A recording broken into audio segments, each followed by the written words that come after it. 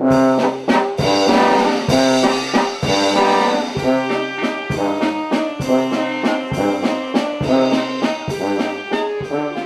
Sâmbătă după amiază, grădina publică din Galați a fost teleportată în istorie în anul 1877. Un spectacol complet cu muzică, dansuri, teatru și bătălii recreate de membrii Asociației Tradiția Militară au atras atenția a sute de gălățeni. Evenimentul a ajuns deja la a treia ediție, a fost organizat de Direcția Județeană pentru Cultură în parteneriat cu Primăria Municipiului Galați și instituții și asociații locale. Haideți să închidem pentru o secundă ochii și pe urmă să ne trezim în anul 1877.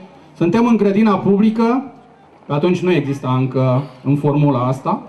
Și haideți să vedem cum era Galațiul atunci. Și haideți să vedem dacă Galațiul și-a adus tributul de sânge în războiul de independență al României. O să invit alături de mine doi dintre colegii de la Direcția Județeană pentru Cultură, principalul organizator al evenimentului și o să vă mai spun ceva. Nu știu dacă trebuie să spun, s-ar putea să îmi atrag niște fulgere din partea unora, dar acest spectacol a fost organizat pro bono. Prin urmare, toți cei pe care îi veți vedea performând, exceptând transportul pe care l-am plătit celor care au venit de la București, au uh, venit de bunăvoie. Acest spectacol nu s-a făcut cu bani din bugetul public, adică bani din bugetul public folosiți, zero lei. Români, evrei, ucrainieni, ruși și greci, un melanj al etniilor, locuiau pe malul Dunării într-unul dintre cele mai importante porturi ale secolelor trecute, Galați. Atmosfera anilor 1877-1878 a fost reînviată în grădina publică a municipiului, iar reprezentanții comunităților minoritare au fost prezenți pentru a reaminti de relațiile de prietenie ce se legau în urbea noastră.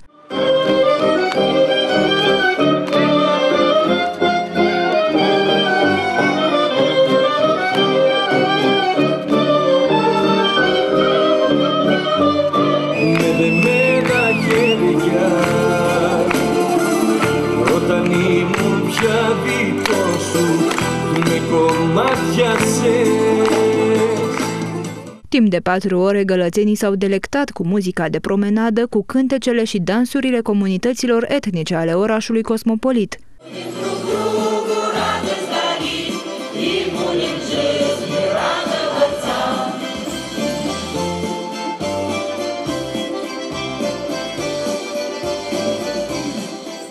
Din programul evenimentului au făcut parte fanfara Valurile Dunării, ansamblul Tihi Dunai a comunității rușilor lipoveni din Brăila, formația de dansuri megleno-române Altona, comuna Cerna, județul Tulcea, ansamblul Zadunai Scasici, Uniunea Ucrainienilor din România, filiala Tulcea, Gvartetul Polifonic, condus de Ioan Badea, elevii Liceului de Artă Dimitrie Cuclin, care au prezentat polca, ansamblul de dans Olimpos al comunității elene din România, filiala Galați, ansamblul ansamblul Doina Covurluiului și clubul de dans sportiv Fantezia din Galați.